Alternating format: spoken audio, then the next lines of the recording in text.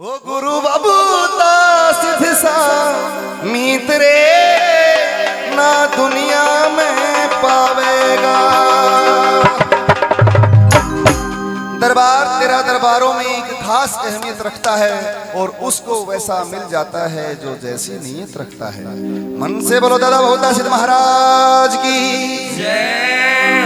ये भजन सबको मन से गाना है। क्योंकि जो इस भजन को गाएगा ज्योतराम जी महाराज का साक्षात आशीर्वाद होगा उसके ऊपर। क्योंकि ये दादा बहुता सिद्ध महाराज के चरणों में वंदना है। कैसे? सुनते हो। गुरु बबूता सिद्ध सा